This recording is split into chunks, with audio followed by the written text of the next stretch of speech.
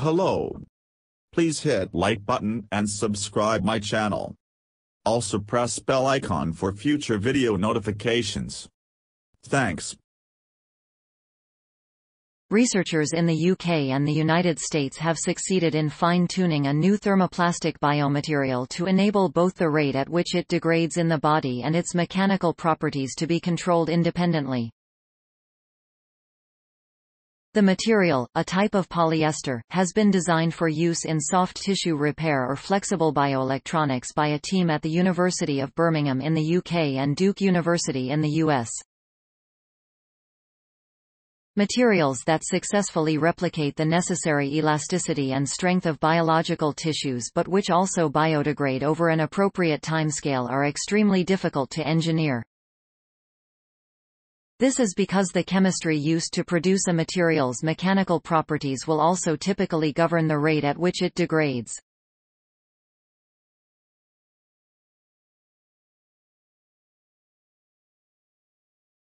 In a new advance, the team has now shown how the addition of succinic acid, a product found naturally within the body, can be used to control the degradation rate.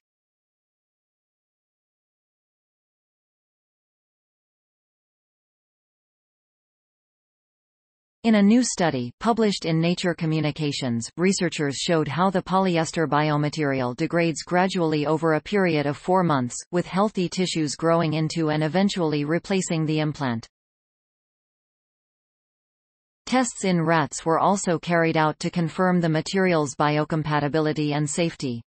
By varying the amounts of succinic acid the team could control the rate at which water penetrates the material and hence the degradation speed.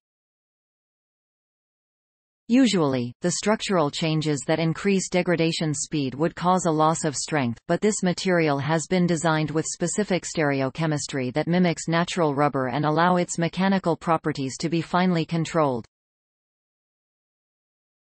This means any loss of strength can be compensated for by making suitable stereochemical adjustments.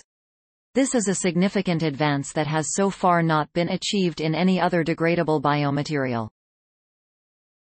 Co-author of the study Professor Andrew Dove explains, biological tissues are complex with varying elastic properties. Efforts to produce synthetic replacements that have the right physical characteristics and that can also degrade in the body have been ongoing for decades.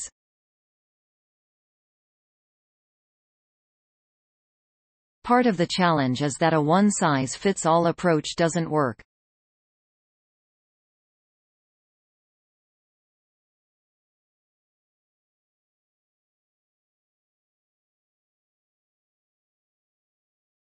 Our research opens up the possibility of engineering biological implants with properties that can be fine-tuned for each specific application.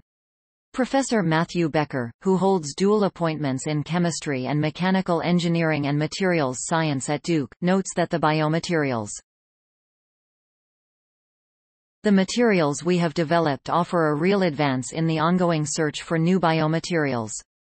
The tunable nature of the material makes it suitable for a range of different applications, from replacement bone to vascular stents to wearable electronics.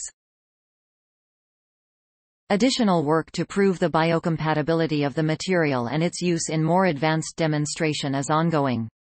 The research was funded by the National Science Foundation, the John S. and James L. Knight Foundation, the European Research Foundation and the National Health and Medical Research.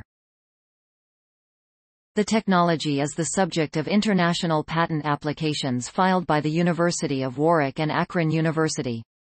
Story source, materials provided by University of Birmingham.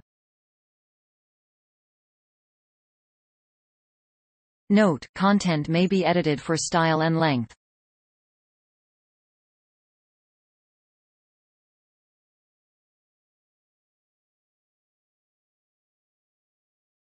Please support my channel to grow by pressing subscribe button and the bell icon. We will notify you technological news. Thank you.